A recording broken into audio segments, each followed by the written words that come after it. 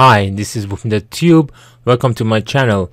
In this video, I want to show you how to disable your Windows shortcut keys or hotkeys. First, you need to know what are Windows shortcut keys. This is a web page from Microsoft where you can look at all different Windows shortcut keys that are available.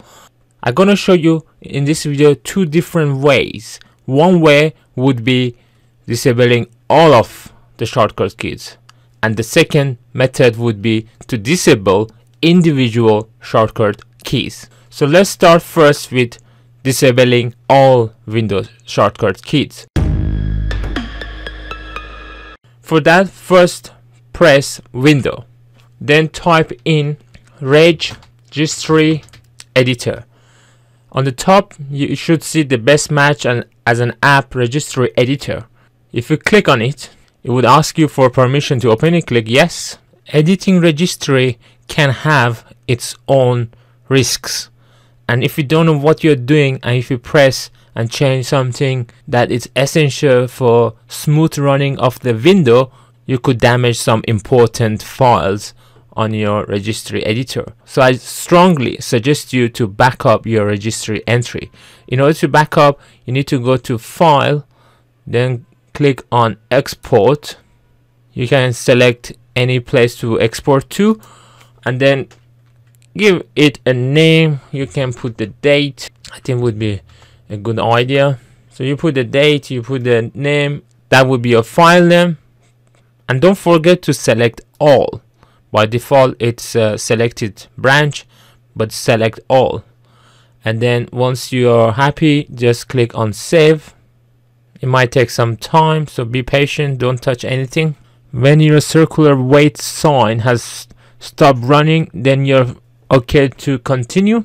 So once you exported and you have made some changes and you're not happy with the changes or the effect that these changes had on your computer in order to bring the saved registry backup file you need to go on file again and click on import and go to the place where you save the registry then click on that and click on open to restore your registry back to the date that you exported it.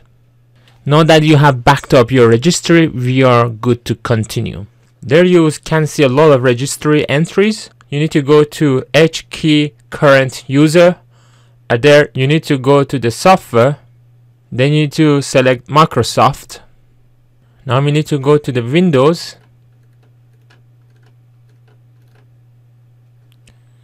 Select Windows current version. You need to find policies. In there you find a folder called Explorer. All you need to do is right click on it then click on new and then select DWORD 32 bit value. Select change its name to no win keys. Then press enter. Now double click on it. Where it says value data change it to 1 then click on ok. And now you can close this. Now you can restart your computer or sign off and sign in. And now if you press any Windows shortcut keys it would not work. Now in the second method I want to show you how to disable individual shortcut keys. For that we follow the similar procedure you go to the start then type in registry editor then select registry editor yes again so we go to the same path which is current user then software then Microsoft then Windows then current version. This time we will not go to policy. Instead we will go to the explorer. So you select explorer then you select advanced. Select advanced folder right click on advanced select new and select expandable string value.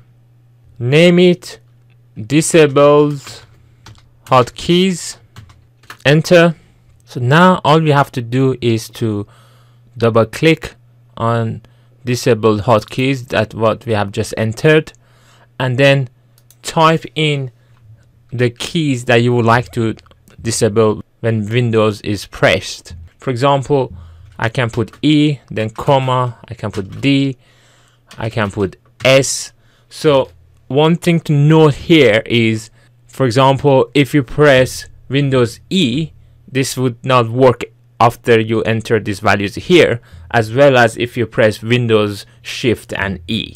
So once you're happy, then click on OK.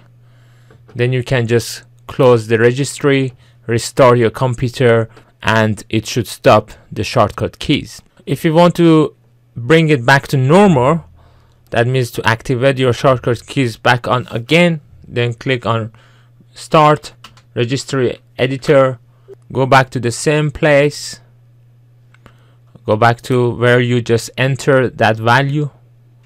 Be mindful, don't touch any other parameters here. Just select this disable hotkeys that you just created if you right click on it and delete it you are back to normal obviously you need to sign out and sign in again or restart your computer?